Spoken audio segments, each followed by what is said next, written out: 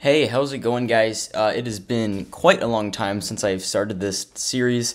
Uh, I actually started it in February. It is currently July, so um, a bit of a delay. Then there's probably gonna be even more of a delay until when I publish this. But I figured I had some free time today, so I figured I would show you how to set up a website. So in the previous episode, I covered how to set up Cloudflare. Uh, in this video, I'm going to show you how to set up a DigitalOcean virtual machine. So I have created my account. I have money, or I have like a credit card linked on here. So we're ready to go. I'm going to click create. We're going to click droplet. So this is a virtual machine that's in the cloud. So basically what this is going to do, this is what's actually going to run the website. So it is going to be inside of this cloud, I guess. Um, so you don't have to do anything. You don't have to run anything on your computer. Um, it's literally just a website you have to use and you'll set it up and then you'll connect to it so I just picked New York. We're going to scroll down here and so our OS marketplace, there's all kinds of images. So I honestly recommend Ubuntu is probably the easiest to get started. There's a ton of stuff online um, that you can find about it to figure out how to do different things. So I'm going to stick with Ubuntu. Um, and I'm going to leave this on shared CPU because honestly the performance does not matter for what we're doing.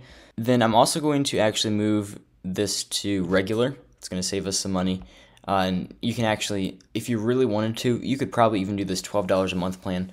Uh, it'll be very cheap. So I'm going to choose probably, I'm going to choose a $12 a month plan just for now. And the nice thing about this is if you shut it down, you don't get charged at all for it. So if you're just testing this for like the sake of this tutorial, when you're done, shut it down and you won't get charged any money for it.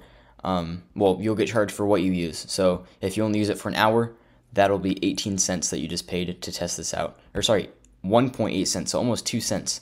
Uh, it's a really good deal. So we're going to continue. So for this next step, we're going to create a password. Uh, it has to be all kinds of requirements. So I'm going to generate one on a different screen here. Okay, so I've just generated a password. We're going to type in the password here. Uh, wow, I typed that wrong. Okay, so I've just typed in the password. We're going to continue on improve metrics monitoring. You know what? We can just add that. It's free. Doesn't matter. Besides that, that looks like we're about done. We're going to also give this a name. We're going to say um, elevated tech, oop, tech systems. And we just want one droplet. We're going to deploy it to the default project here. So it's going to be literally just 12 bucks a month. We're going to create the droplet. And boom, there we go. So it is now deploying this droplet uh, and the time that it's taking to do this, I'm going to open up a new tab and I'm going to go to dash.cloudflare.com, just like this.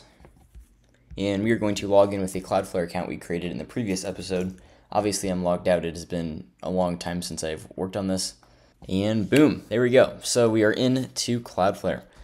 And it looks pretty much the same as the last video, so we're going to just continue. We're going to open up our domain here, and it is connected. There's visitors. I'm not sure why because the video hasn't even gone live yet. So yeah, I'm not sure why, but we're gonna um, clear out our DNS records here. You're not gonna be able to see these because these were just me testing previously. And all right, so this is our domain. This is our DNS page. We're gonna see. We're gonna expand this. Looks like it's still going. So we also have an IP address now, which is really cool. All right, so we're actually gonna go in here. We're going to rename our virtual machine. If I can figure out how. There we go.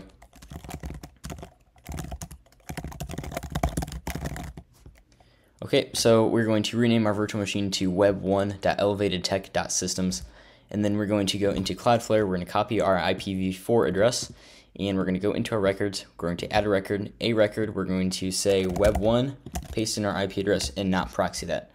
So we're going to click save. Okay, so basically that change that we just made uh, allows us to type in a command like this,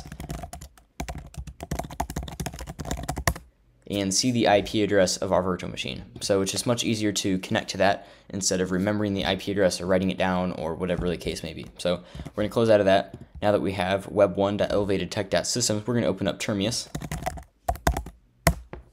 Okay, so now I'm adding in our virtual machine. I'm um, pasting in the address and all that kind of stuff. We're going to type in root as well as our password.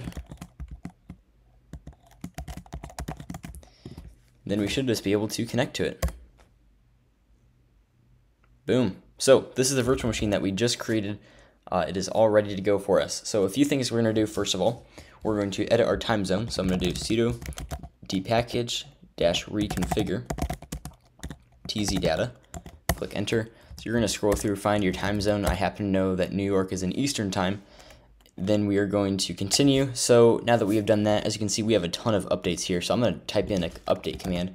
We're going to say sudo apt update dash y, sudo apt upgrade dash y, and sudo apt get update dash y, sudo apt get upgraded dash y. And we're going to say sudo apt auto remove dash y. So basically this is going to update our virtual machine. It's going to upgrade it as well. So it's going to update our available packages. It's going to upgrade. Uh, and finally, it's going to remove any packages that are not needed anymore after the updates. So this is going to take a little bit. We'll be right back once this is done. So in the meantime of this update, I'm not sure why it's frozen either. But in the meantime, what we can do is we can go into Cloudflare here.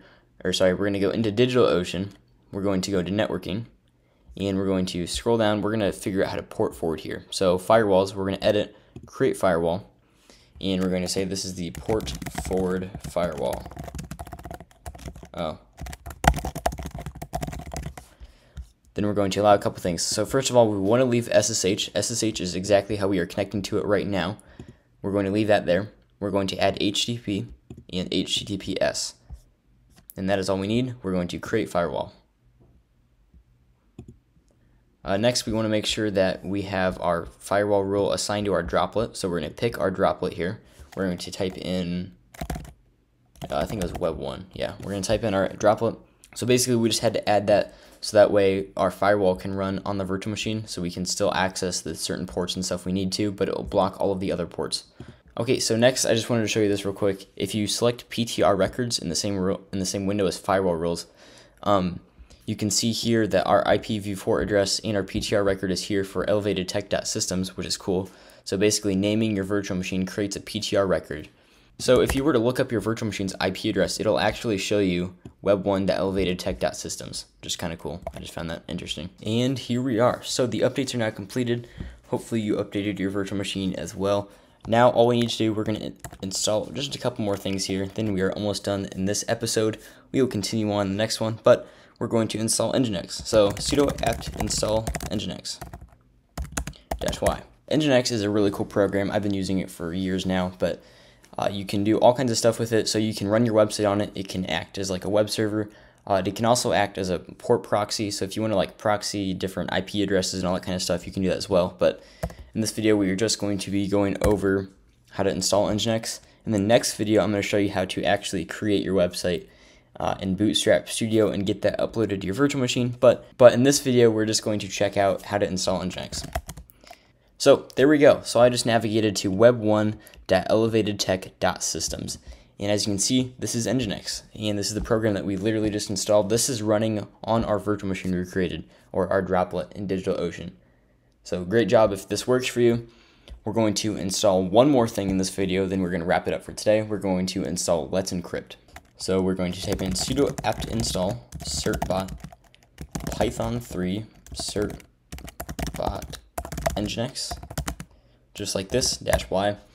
Just let this install. All right so that is now installed. We are going to say certbot dash dash nginx dash d web1 elevated tech systems. So what this is going to do this is going to get a certificate for us that will be signed by ssl so that way anybody that accesses web1.elevatedtech.systems will have to go through HTTPS and it will be a secure connection to the server. So it needs a couple it needs a little bit of information to get started here. We're just gonna agree, blindly agree to everything. Actually no, not that one. And there we go. So it's gonna request a certificate and in a couple seconds here you'll see that it has successfully grabbed the certificate and if we go to reload our page, boom, right there we have an SSL secure connection to our web server. So that is all for today. Thank you for watching. We will pick back up right where we left off in the next episode. Uh, we're going to start using Bootstrap Studio and creating an actual website, and I'll show you how to upload that to your virtual machine. That'll be next, but thank you for watching. Hope you have a great day. We'll see you in the next one.